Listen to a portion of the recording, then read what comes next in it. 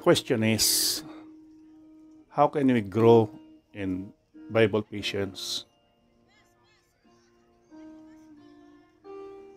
Never ask God for patience, or else He will give it to you. This sentiment is a common joke among many who oh, note that when someone wants to grow in patience, they experience difficult situations that force them to be more patient. Characterized by the ability to face trying, hard, or annoying experiences without getting angry, upset, or lashing out, patience may be one of the biblical traits humans struggle with the most. In today's world, it seems almost everything is designed to test patience. Traffic, 24 hour news cycles, other people.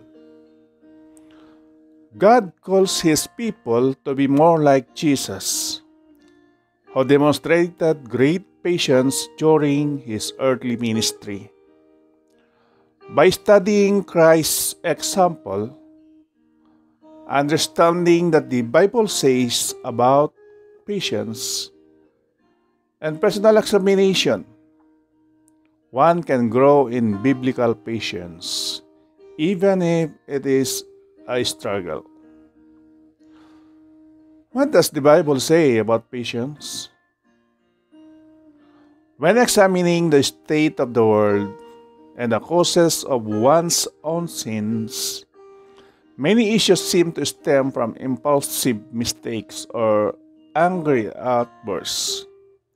Random acts of violence, follies, and rash decisions, and unhealthy cycles contribute to silly accidents at best, and the ruination of lives and relationships at worst. Many sins and mistakes come from a lack of patience, which is the capacity to accept or tolerate delay, trouble, or suffering without getting angry or upset. How long does it take for someone to lose their temper, storm up, or get exasperated? Being able to accept or tolerate problems allows people to work through issues, facilitate compromise, and prevents inappropriate behavior. Some people say patience is a virtue. While this is or while this saying is true, it does not come from the Bible. It comes from a text called uh, the Psychomachia written by the poet Prudentius in the 5th century AD. However, the colloquialism is in line with what the Word of God does say about it.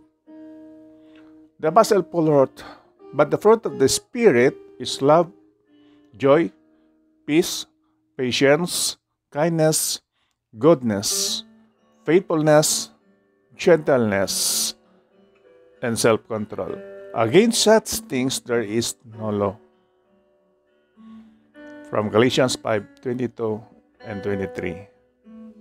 Other words used in other translations that also mean patience include forbearance and long suffering.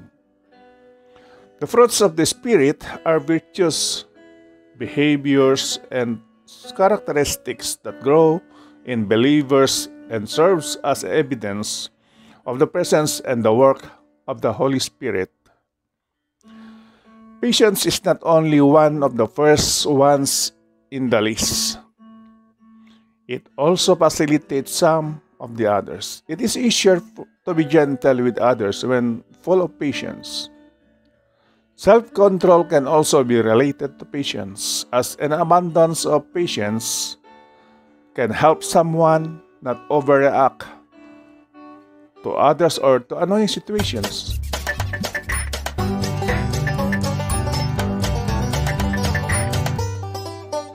Thank you for listening. I hope you find time to subscribe